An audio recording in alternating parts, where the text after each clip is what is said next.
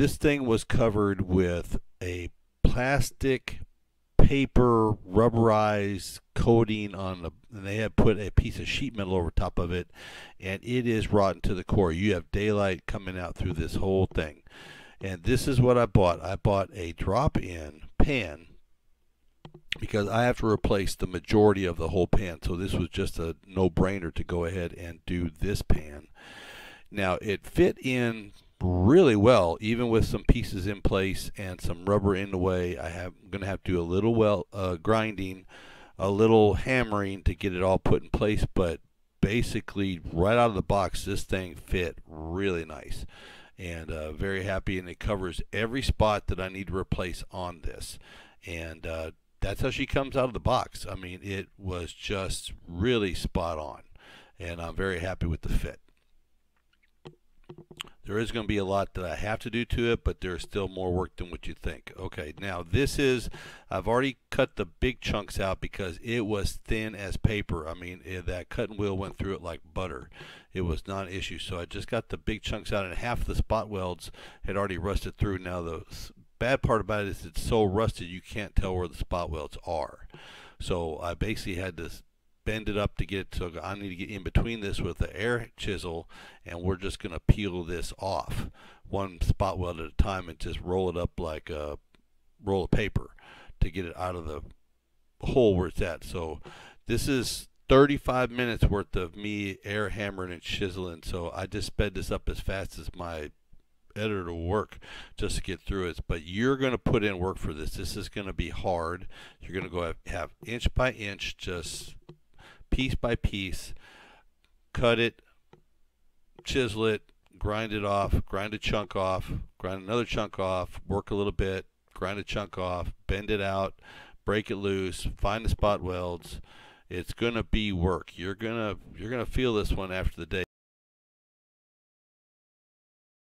Okay, so let me explain why I have two different floor pans here. So I made a mistake and I ordered the wrong one. The first one I ordered was this one. This one is just a, this is a patch panel, not a drop-in, but a patch panel. It's made specifically with extra meat on it. Extra meat for, this is designed, this part right here is designed if your rocker is rotted out, so you can replace part of your rocker along with one piece just to drop in. Because if you look at them, they're pretty close. They got the ridges, they got the ridges. This is designed to be just, you cut it up and use it as you need it. It's got the same bracing on the bottom. Okay, so they are both passenger side floor pans, but this is designed to cut up and just use as a patch panel. This is the one we're going to use today. This is a drop-in. It's got all the bends, all the pieces. It goes up onto the lip where basically you can cut out the majority of the floor and drop this in, trace it, cut it, trim it, do what you need, and it's a full passenger side, floor side replacement. Not a patch panel, but a replacement drop-in panel. She is out. And let me get in here. All right. Now, you remember me telling you about spot welds? Well, that's a spot weld. And that's a spot weld. And here, and here, and here and here and here and here and here and here and here and here and here and here and here here here here and here all right there's a dozen and a half this one is spot welded really heavy because this is the main support as you can tell for the cab mount right here and i just want to show you something i've been spraying Everybody told me you could go into this hole right here with the with the spout with WD-40 and get it into this pocket to help take those out. Well, that thing is dry as a bone. I've been spraying this cab for about a year, about once a month for a year through that hole, trying to get the WD-40 up in there. Didn't work. So what I think I'm going to do is I'm going to find the pocket over there.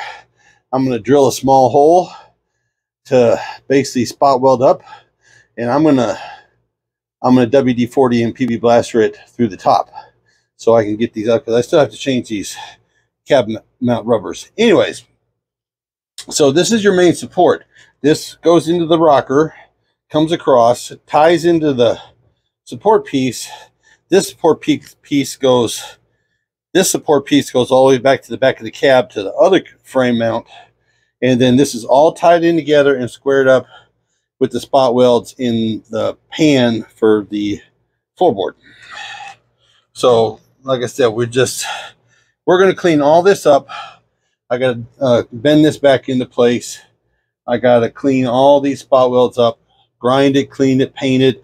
While we're here, we'll paint the top of the frame. Everything that's accessible right now, it's going to get taken care of. It's going to be, get some treatment. But basically, that's what, and here's the pile of stuff that came off of it. Now, the majority of that was really, really, really, really thin, rusted. Let me show you what we got done so far. We basically cut, there was rotten, after I pulled the rubber back, back was rotten all the way down here like they normally are because water starts down there, heater core, floorboard here, and then runs right down here just from going downhill. Okay, so basically I just took my framer square and I stuck it in there just like this, just like that, and I traced it a line across the top, right? And so that gave me a nice line to cut a nice straight cut with. We're going to clean all of this up. There's dirt and grime and rust and corrosion and stuff everywhere. Okay, now I'm to warn you guys, when you get into something like this, it's to be more work than you expected. There's to be, you're to, once you start taking this stuff apart, you're to find all kinds of stuff. That's the pile of junk that's come out of here so far. And there's stuff on the floor, then there's grits and bit, and you're to have to, there's, I got to vacuum, I got to blow all this out, I got to clean all this up and find out what's rotten and what's good. But the pan is about 90% fitting right now. I'm going to have to make this piece which is pretty simple. I just use that as a template on a piece of steel I got over there. I'll just trace it and cut it. So it'll be just the same size. It'll be easy to put in. Zip, zip, zip, zip, zip. And, but it just, it's going to be more work than you expected. This is a big job. But I got to say, the drop-in pan is the way to go for this kind of job. So I'm going to get started cleaning this up and it's Saturday and I want to get this cleaned and I want to get some paint on this and let it dry overnight. Uh, some good primer. I don't have any weld through primer, but we're going to primer this up and put some paint on it, get it clean or as clean as I can get it and uh, work it from there. But uh, so I got a little dollying to do. I still got a little dent over there, eh, but I got most of the spot welds done. And I'll show you once I get finished. It's late Saturday night and I got my paint on where I want to paint it. I got the frame rail with my gloss. It came out pretty good. I'm got this is my third coat of protection on the inner frame structure and inside here and inside in here. Um, I did one primer sealer gray, and then I have this um, the good uh, my good Ace Hardware paint, and I got two coats of it on. So she's drying right now, and now I know I'm going to have to like buff this out and uh, grind spots to weld, but I want to get a nice solid hardened protection on this because I'm hoping this will never see daylight again. So I'm going to do it as best I can now that way I ain't got to deal with it later. All right, while we're here and we're talking about it, I wanted to show you this.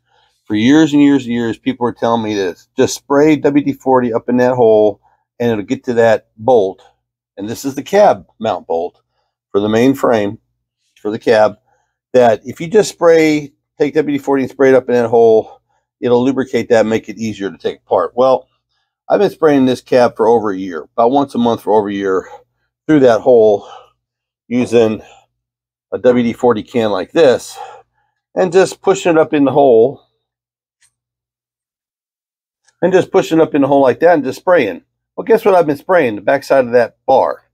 No, the only way to really get to this is to get up in between. There's little notches on the bracket itself to try to somehow get it forced up into in between like that. Try to get it to actual bolt. Now, what I'm actually going to do now, what I'm actually going to do on the other side is I'm going to find this pocket and I'm going to drill a hole. And I'm going to use that hole to spray the WD-40 into. And we're going to change these cab mounts while we're here doing this job. But just let you know, those access holes have a plate in the way. But that's what the pocket looks like. It's just an encapsulated flat nut with the bolt coming through it. Now that should actually be pretty strong. Now if it's the only time that that would probably not break loose, which you're still going to have to be careful, it would be so much simpler if there was access to lubricate that, is just to go slow, break it loose with a cheater bar, work it a little bit, spray it, screw it back up in, work it a little bit, spray it, screw it back up in, and just work itself out slowly. Using the impact on this is not the job. It's a ratchet and a cheater bar and a lot of WD-40. Okay, that's about where she's going. She's got a pretty good lip. She's fitting up nice and tight on the edges. I got a little bit of a gap right there, but she's trimmed all the way down, sitting on the ledge. So this is close enough where, here's the question. Where do I find out where the support braces are? Easy enough. We're going to go from underneath. And we're going to take a paint stick. We're going to take a paint stick and we're going to trace it from the backside and we'll drill the holes that way. So we know where all the braces are because this is basically where it's going. A little bit of hammer in here, a little pushing vice grip in there, but we're going to get a better look at it from underneath. But she's pretty much in where she's going to go. Okay, we're up underneath. And she's not all the way down flat, you can see, but she's pretty close. So I might have to do a little bit more trimmage on the back side to get that lay a little flatter. But she's flat all the way in the back. But right here at the bend is where she's a little bit off. I might have to just sit my fat ass down in there and press it down with my knees when I'm in there tacking or welding or whatever thing. But we are close enough to be able to mark this with the paint marker of where the braces are. Both sides so that we know where we need to drill for our holes. Here we go. Now we got her traced. And I did went ahead and traced all the way around. I traced where the braces are. That's the side brace the main brace where that's where we're going to be drilling holes. And we're going to be drilling holes along that perimeter. And I just kind of, just for my own idea of where I'm sitting at, this is where the floor pan is. This is where the floor pan is. This is extra. And so if I wanted to, I could trim some of this off. We, we might go there. We might or we might not. But I've already done some grinding on this piece so it slips in right because it comes a little long. It was about, I'd say about 3 16ths long for it to drop in. But really the fit on this is pretty spot on. And and also I did mark this. This is that I have a slide, a ledge. Like there's a little bracket, a ledge that this is sitting on, which is perfect. You know I mean? Because when you're talking about dropping it big picture wise, when you're talking about dropping it in place, if you got if you're an eighth of an inch off on the floorboard, you're never going to notice it. If you're, you know, it, it doesn't have to be perfect. It needs to be nice, but it doesn't have to be perfect. An eighth of an inch, like using existing ledges and existing brackets and existing, like this is all existing. We're going to use this we're going to try to get this as flat and as on it as possible. But we already know that this, this bend isn't exactly right. So I might have to tweak that a little bit to get that in. A little hammerage. But she's going to be close, and close enough is good enough. And I don't know if you noticed, but I, my marked, that's the box. That's the box. That's getting a hole in the center of it right there, just because. Okay, so I just kind of spaced them out, marked them. That's where we're going to drill holes. There, there, there. We're going to do 10, 13, 16, about 20, 20, 21 marks. So that should be more than enough to stabilize that whole area. Along with the inserts and the bends that's all made it to where it doesn't want to bend well but we might have to do some tweak it so let's drill some holes. Holes drilled and ground.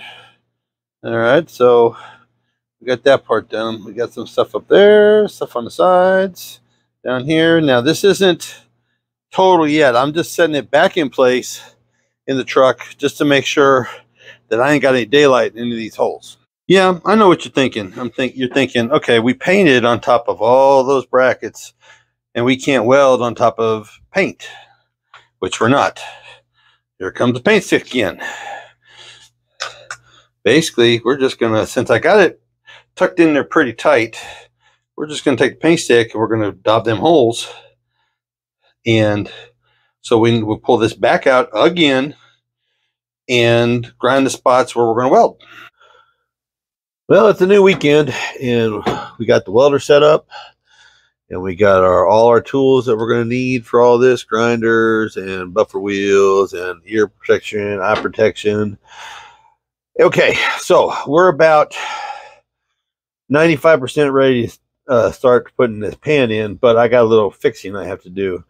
First thing I need to do is I got a little crazy with the cutoff wheel when I cut, started cutting this floor out. So I got to weld these up, both of those. And I don't really have to, but I'm thinking I'm going to weld those up just because. But I haven't made up my mind yet. But then we'll take, and you can see where the markings is, we'll take and grind all those spots to metal so we can get a good, but I already figured out the pan where it bends right here for the toe board and for the flat part, it's not quite right from the factory. So I'm going to have to do some bending on it just a little bit just to get it to flatten up on this bar. It flats, sits real, real nice here, but it's about quarter of an inch off of this bar. So it's got, it's not bent exactly right. So I'll show you how we're going to bend that. But so this is the process. So it's just a little at a time. Like still have this piece cut out, and I have that piece cut. It is right here for this piece right here. And that was off of one of the patch panels that I already had in the back. So it was just an easy draw line and cut it with the cutoff wheel yeah, but so it's just a little bit of work with you need to do as much prep as you can now because it'll make the job better later. Well, we're at the time that we're going to start welding. Okay, so I've had it in, had it out, had it in, had it out a whole bunch of times. I had to put a little bit extra bend in the at the at the bend in the floorboard to get it to sit where I want to on those bars I'm going to be using about six self-tappers on this to get it where I want to, just temporarily self-tapping just to hold things in place because right now she's pretty close. And what I mean by pretty close is, I'll show you the gappage. So she's pretty close up in here. Uh, you know, this is going to be my, and she's nice and tight in the tray. She's, I got to do a little bit of work in here to get this tightened up but I had to put an extra bend into here in this level to get this down where it'll actually go onto that brace. And this one is dead on. These are all dead on. And then I'll have to like probably put a, a self tapper up towards the top to pull it in. But I'm going to start from this corner and work my way out. So it's this is right here pretty good where I wanted to go. So we're going to put a tack here and work it a little bit. Probably put a self tapper in here to suck it up Put a self tapper up on the top to suck it up, bring it around, and then just work from there. We're, we're going to work from this corner out. So I guess I'll set up the camera, and uh, this might be a speedy one. I have to speed it up a whole bunch because this is going to be a lot of work. This is grinding, welding, grinding, hammering, grinding. This is just going to be a lot of work. It's, like I said before, this is not a small job. This has been, this is second weekend or third weekend. This is the third weekend working on this. So it's going to be something you take your time, but if you take your time and you do it right, you'll never have to do it again. It's a one time thing.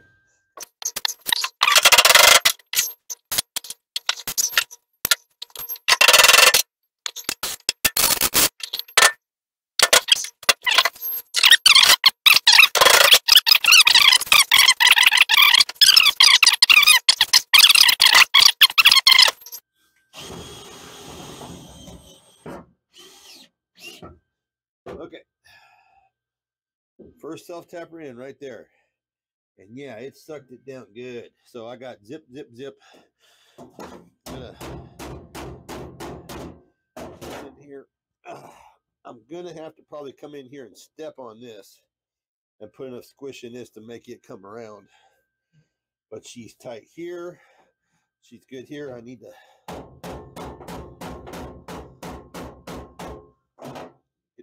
here. Yep. Yep. Like I said, this is just going to be a bunch of set, hammer, set, hammer, fit, fit, fit, fit.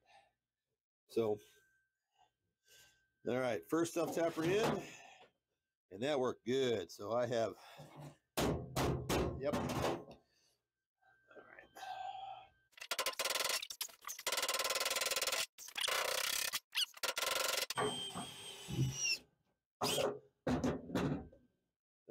go.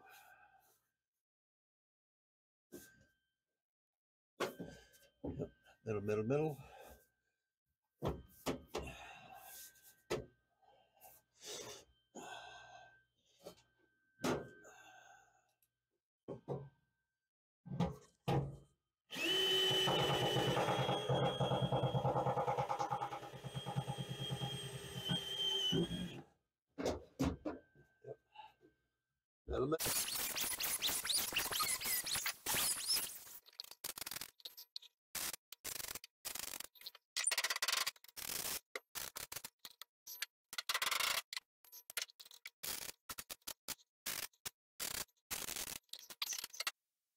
Okay, I wanted to bring you in here and show you something.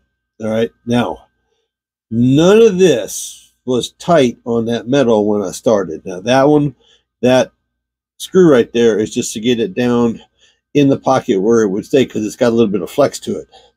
Okay, so see how this is edged up and it ain't really tight to the metal. Once you start welding, this is all I did all the way across this, is that all of this had a gap in it, right? And you just, all you have to do is just give it light taps. It will move to where you need it to go it will flatten itself onto the surface you need it to go to. Now, a lot of guys, I mean, I'm, this is not body work. This is just putting metal in place, but this is fitting as, at its finest. And that had a huge gap in it. I could see the floor through it when I started.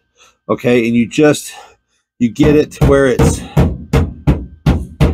you get it to where it's where you want it to be, and then you put a tack. And then you move to the next one. You do the same thing. You tap it where you want to go, you put a tack. You tap it where you want to go, you put a tack. You tap it where you want to go, you put a tack. That's how this works. Like I said, I started from that corner and I'm working myself out. So don't be scared if you have some small gaps because you can work it with a hammer and time and patience and you can get it where it needs to go. Like I said, I can see daylight and floorboard in the floor through that gap when I started. And here we are right now. So don't be scared if it doesn't fit perfect like a puzzle. You can make it go where you need it to go. Okay, I'll give you an update. I got all that stitched in all the way to the top. I've got this one pretty much 80% stitched in. I got to fill in some gaps. But I'm here to this piece that was rotten out and I've trimmed my piece up and I got the gappage exactly where I want it. Using my little magnet, just hold it in place. And again, this will be one of those reeds. We're just going to daub it, move here, flush it, daub it, flush it, daub it, flush it, and just work our way.